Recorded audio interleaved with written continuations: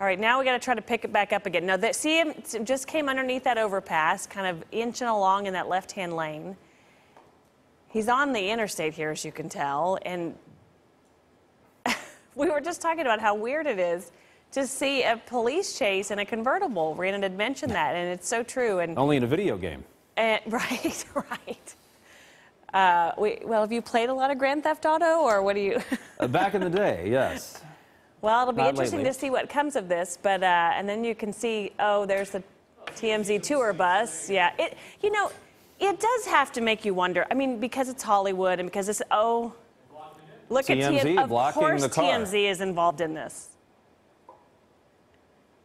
Oh, Oh, let's see if TMZ also wants.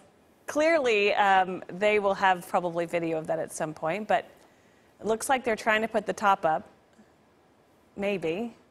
I mean, this is just uh, this is just Hollywood, I guess. But at, at first, I was a little suspicious. Like, is this a movie? Is there somebody filming something? But it is not the case. These are robbery suspects.